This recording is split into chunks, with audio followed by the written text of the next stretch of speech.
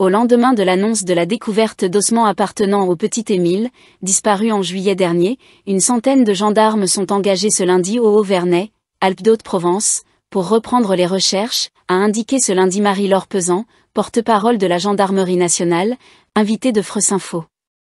Les experts de l'Institut criminel de la gendarmerie se rendent sur place, pour pouvoir analyser le secteur de découverte, détaille cette dernière. De gendarmes mobiles sont également engagés pour assurer la sécurisation des lieux et interdire l'accès du hameau. Ils sont déployés aux côtés de gendarmes du département, d'enquêteurs de la section de recherche et d'experts.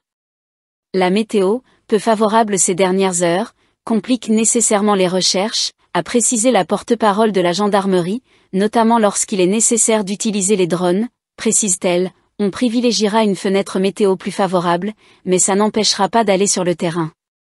Samedi, la gendarmerie nationale a été informée de la découverte d'ossements correspondant à ceux des milles à près d'un kilomètre du hameau du Vernet, dans un secteur qui avait déjà été fouillé. Il y a une chance infime qu'on soit passé à côté lorsqu'on a fait la fouille, a admis Marie-Laure.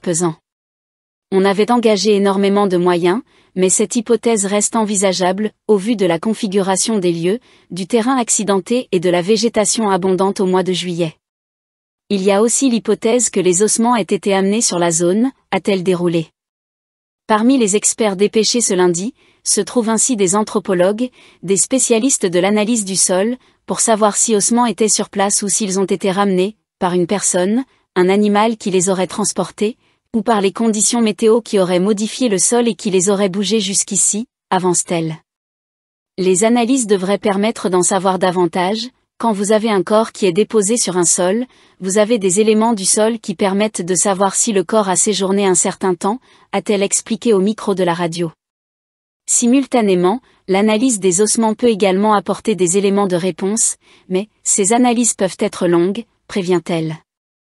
Pour organiser ces différents niveaux de recherche, procéder par méthode, un coordinateur de scène de crime va également être dépêché sur place, ajoute-t-elle. Interrogé sur une corrélation entre la mise en situation organisée la semaine passée et la découverte, deux jours plus tard, des ossements, cette dernière précise que, pour l'instant aucun lien n'est fait, entre les deux événements. On continue d'exploiter l'ensemble des pistes, poursuit-elle. Ce rebondissement est en effet survenu deux jours après une mise en situation, une sorte de reconstitution des faits effectués pour la première fois depuis le lancement de l'enquête. Lors de celle-ci, 17 personnes avaient été convoquées, dont toutes celles présentes le jour de la disparition d'Émile, pour tenter de déterminer leurs faits et gestes dans les derniers instants avant sa disparition.